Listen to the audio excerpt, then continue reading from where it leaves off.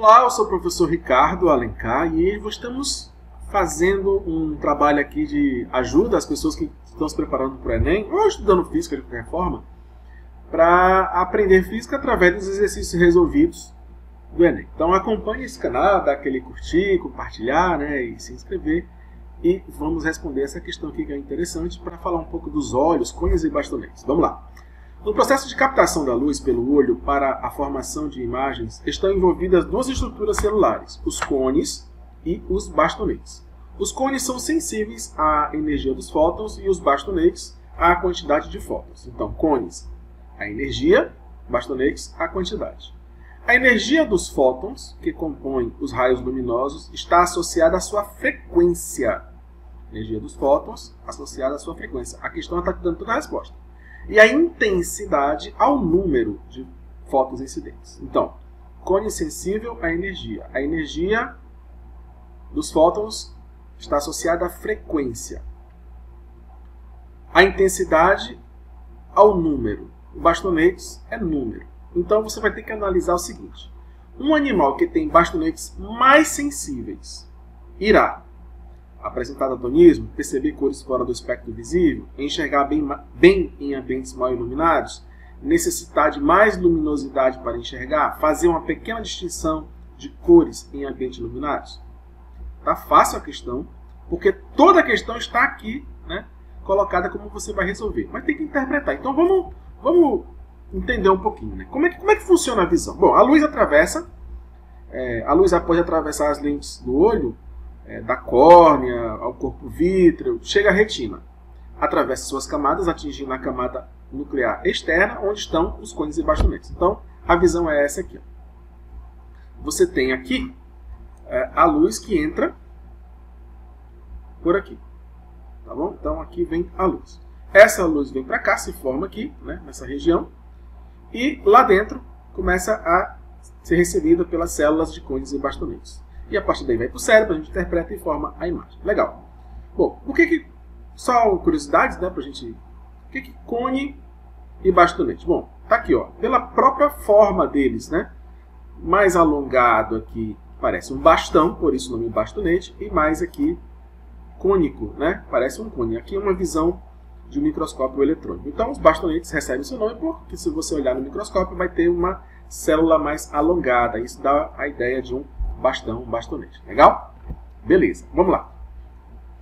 Bastonete, encontrados principalmente na periferia do olho, você pegar aqui assim, ó, essa região aqui assim, tem uma quantidade maior. Não é que só existe lá, mas é uma quantidade maior. É, não produzem a visão em cores, não tem a ver com cor. Vou já explicar por quê. São responsáveis pela visão escotópica, ou seja, da baixa luminosidade noturna, penumbra. É, os cones, encontrados principalmente na região da fóvea, que é essa região aqui do fundo, né? Vamos, não sei se você percebeu aqui, ó, fóvea, essa região aqui, bem no centro, mais ou menos no centro. Se você olhar aqui nessa figura, mais periférico estão em quantidade maior os bastonetes e mais central estão os cones, tá bom? Aqui de lado você vai ter esta ideia aqui. Então, uma coisa interessante, os bastonetes são mais numerosos do que os cones. Repare, cone forma cor. Por quê? Porque está associada à energia. E energia, pela fórmula da física moderna, né? energia é constante de Planck vezes a frequência. Mudou frequência, mudou energia. Frequência maior, maior energia. Frequência menor, menor energia. Também tem a ver com a fórmula frequência, você pode substituir pela velocidade da luz, que é a velocidade do fóton. Né? Dividido pelo comprimento de onda. E esse gráfico aqui, ele justamente mostra essa questão aqui do comprimento de onda e as cores. Então repare, esse comprimento de onda e esse comprimento de onda. Mudou o comprimento de onda, mudou a cor, mudou a energia. Quem vai ser responsável por isso? Os cones. Pela quantidade, pela intensidade, quem vai ser responsável por isso? Os bastonetes. Legal? Vamos lá responder então. Letra A. Apresenta daltonismo? Bom, daltonismo é um problema de cor. Logo, tem a ver com quem? Contes. Não tem nada a ver com bastonete, que é a pergunta do animal que tem bastonetes mais sensíveis. B. Perceber cores fora do espectro visível? Cor, de novo. Então, a ideia de cones. Não é, não é a resposta. Enxergar bem em ambientes mal iluminados é aqui. É a visão que a gente chamou aqui, ó. Visão escotópica de baixa luminosidade. Então, tá aqui. Essa é a resposta. Né? Bastonetes mais sensíveis implica melhor percepção da luz, logo enxerga em tons cinzas, melhor que os outros. Então, animais que enxergam no escuro são animais com bastonetes mais sensíveis à luz. Vamos continuar para entender, né? Necessitar de mais luminosidade para enxergar? Se necessita de mais luminosidade, tem deficiência nos bastonetes e não bastonetes mais sensíveis. Fazer uma pequena distinção de cores. Cores, acabou, né? Tem a ver com cores e não bastonetes.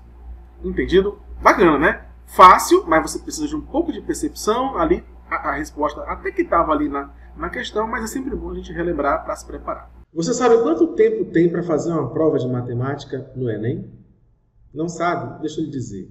3,2 minutos é a média que você precisa ter para dar tempo a responder todas as questões de matemática, mas também lembre-se que você tem física, química. Se você está se preparando para o Enem, saiba que todos os seus concorrentes, centenas, milhares de concorrentes, estão fazendo a mesma coisa. Para você que vai fazer o Enem e quer uma vantagem que alguns diriam que é até desleal, então eu tenho um método passo a passo que vai te ajudar a destravar a sua velocidade de fazer provas de matemática ou que tenha cálculos matemáticos até cinco vezes mais rápido.